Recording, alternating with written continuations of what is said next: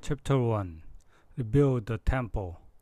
On the first day of the sixth month of the second year that Darius was king of Persia, the Lord told Haggai the prophet to speak his message to the governor of Judah and to the high priest. So Haggai told governor Zerubbabel and high priest Joshua that the Lord all powerful had said to them and to the people. You say this isn't the right time to build a temple for me, but it, is it right for you to live in expensive houses while my temple is a pile of ruins? Just look at what's happening. You harvest less than you plant. You never have enough to eat or drink. Your clothes don't keep you warm, and your wages and are stowed in bags full of holes. Think about what I had said. But first, go to the hills and get wood for my temple, so I can take pride in it and be worshipped there. You expected much, but received only a little.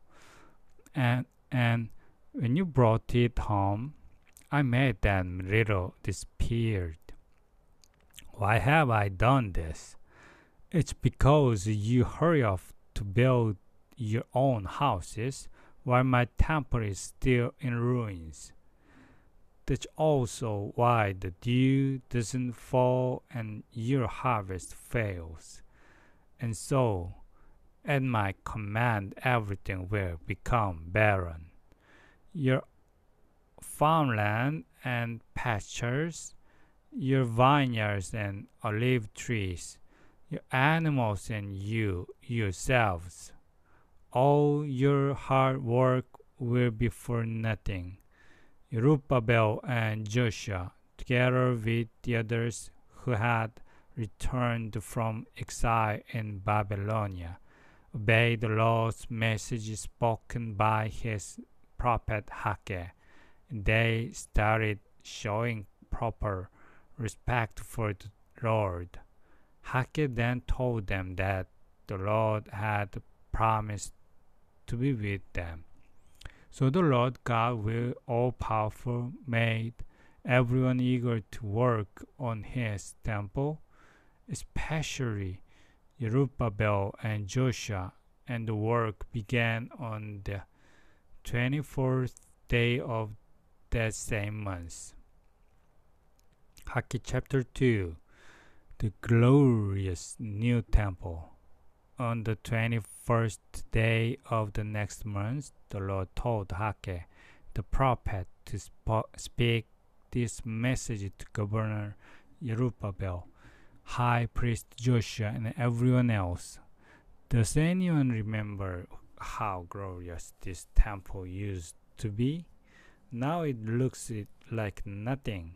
But cheer up, because I, the Lord of powerful, will be here to help you with the work. Just as I promised your ancestors when I brought them out of Egypt. Don't worry, my spirit is right here with you. Soon I will again shake the heavens and the earth, the sea and the dry land. I will shake the nations, and their treasures will be brought here. Then the brightness of my glory will fill this temple. All silver and gold belong to me, and I promise that this new temple will be more glorious than the first one. I will also bless this city with peace, the past and the future. On the 21st day of the ninth month, the Lord God all powerful told the prophet Haggai to ask the priest for their opinion on the following matters.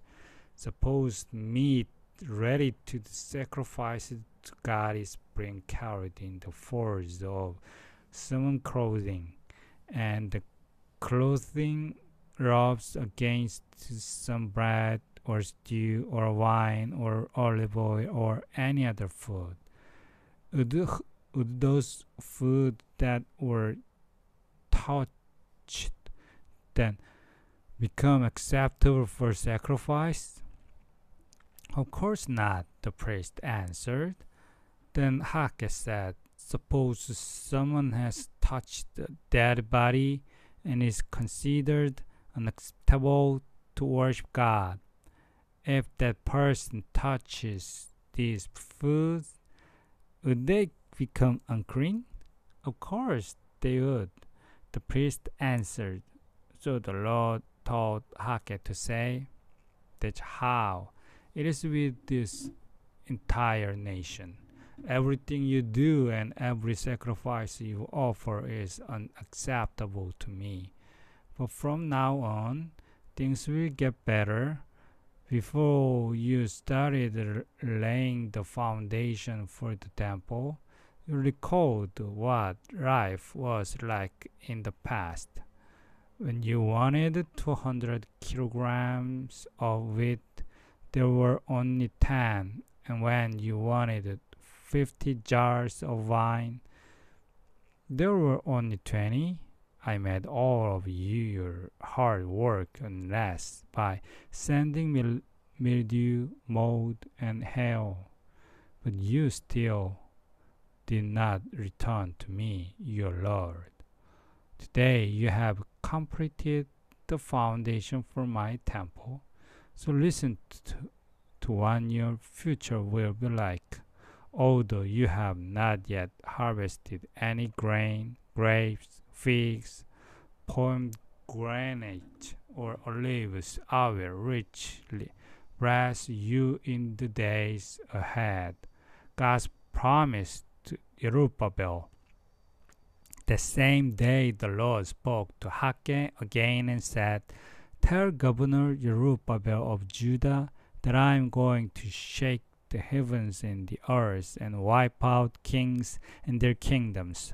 I will overturn war chariots and then cavalry troops will start slaughtering each other.